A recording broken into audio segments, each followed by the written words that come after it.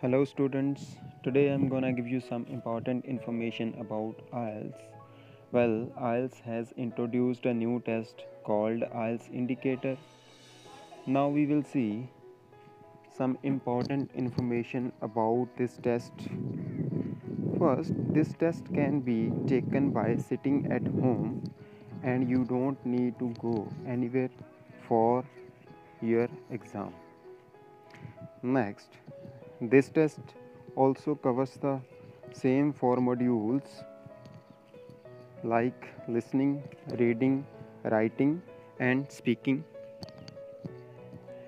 This test will be conducted once a week and your result will be declared within 7 days.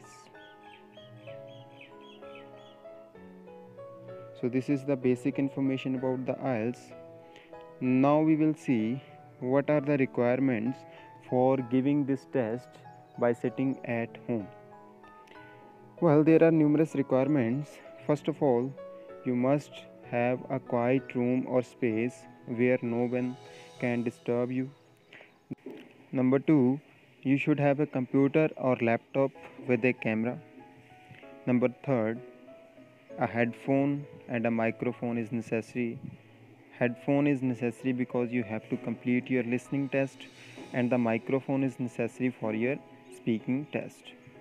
The next thing is you must have a zoom application installed in your computer because of video purpose. So this so these are the requirements for the test. Now we will see how you can book this test and what is the fee structure?